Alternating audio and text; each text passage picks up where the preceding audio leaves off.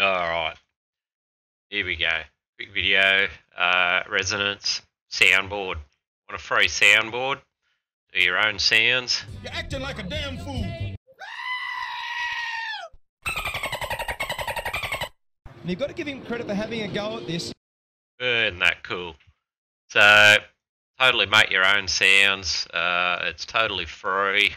It's pretty awesome. Uh, only a little bit of configuring to do. So, yeah, get into it. Head over to the website, resanance.com.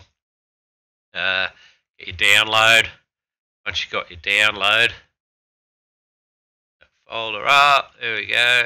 And where is it? There it is. Resanance. Double click. Open that one up. It'll install the package with the uh, VB virtual cable. Uh, yeah, there's virtual cable driver with it. Need that. Everything installed with it. Just follow the instructions. All good. Once you've done that, it'll open up and then you'll come to your uh, dashboard page. So, a couple of things to sort out on here. Uh, you need to enable in the middle, this button. You'll hear a, a sound. It'll tell you it's enabled. Then you need to enable your whatever you're going to listen through or use. So definitely have the VB cable, virtual cable um, enabled. That's the main thing to do. Uh, It's connected up to uh, Discord, and I'm using my headset. That's all good. So configuration. So to get it to work properly, next step is, is to go down to your sound settings. Right click on your sound. Go sounds. Open her up. Uh, we'll go to recording. Now I'm using my headset, my Razer Naris uh, for chatting, and that's what I'll use when I game, and I'll be in Discord, so that's my main thing that I'll use. So I'm going to go to that. Go to properties. We're going to go to listen. That's this is for the microphone. Uh, listen to this device. Check that box. Play back through this device. Pick the VB virtual cable. Uh, that being done, click OK. Go back. Scroll down. We'll find the cable output, which is the VB virtual cable, and we'll select that as the default device. Say right click on it and set as default communication device. You can see here it's already selected there and running. So those two things will get you into your Discord and get you hooked up. Uh, once you've got all that set up, uh, it should be working. So there's two ways to get your sounds on there. Basically, on the main board here, you can click add. Click add. All my rude ones up the top, but uh, just for the sake of it, we just click one of these. And it adds it. There you go. We've added fill in the flow.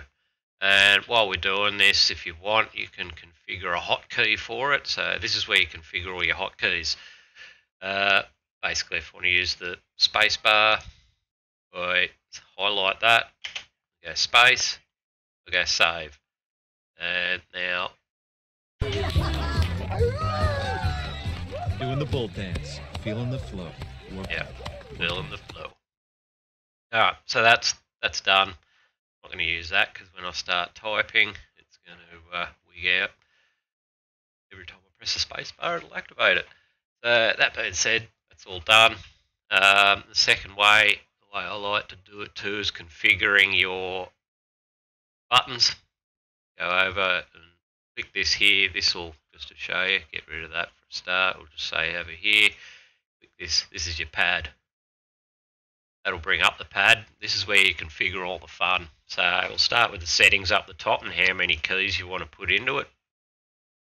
Click on the cog, take you up to the columns and rows to give you the amount of uh, buttons that you've got.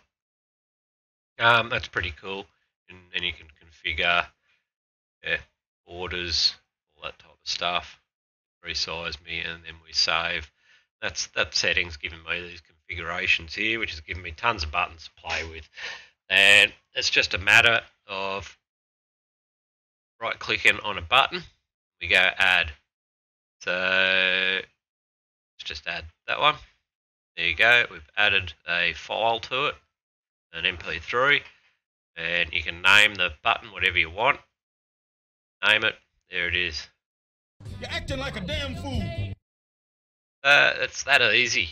So the way I do it too is start up Audacity and bring it in. So basically now, if you want to add something, um, let's go and just configure Audacity. I won't go into everything about Audacity, but this is how I do it. Uh, so input microphone. So just start recording. Um, there it is. It's recording my voice. Stop. Basically, yeah, we can play around with it, but uh, we export that file MP3. Uh, I'm just going to put it in the downloads and go call it talk. And another, watch it with Audacity, another window will pop up, but enter or OK. That's all done. Uh, you that off now. See you later. So we'll go back to here. This button, button you want. We'll go add. Go back. There's talk. Double click. Save and recording. Um, there it is. It's recording my voice. There you go. So I've just put a WAV file in there. I mean, a, yeah, an MP3. We use WAV files for other other programs, but yeah. So yeah, you can get all your favourite stuff off uh, yeah YouTube. Like yeah, just go to your videos. Yeah, Peter Griffin. Get whatever you want and bung it on there. So now the, the last step is, is is just configure both of these together. So I've got a separate um, handpad with numbers on it, or you might have uh, yeah, another separate keypad that you can use as a soundboard. So you can use the keys for it. So basically, I just went through and started doing them. So bird, bird, bird is the word. Um, yeah, just went to add and selected the file, opened it. To do that again. And then once you've done it, you highlight it, come down here, highlight that, get rid of it, and then you press any key, and that's now highlighted, saved. Same as I showed you before, but uh, yeah, and, and then you can go through and assign these as I've got on the on the number pad keyboard separate, uh, which is really cool because then I can just go and hit a button and away it goes. Uh, pretty cool. So that's it. It's easy. It's free. Um, yeah, it works. So if you want a basic soundboard, Resanance, check it out. Uh, that's pretty much it. Yeah, thanks for watching. Out.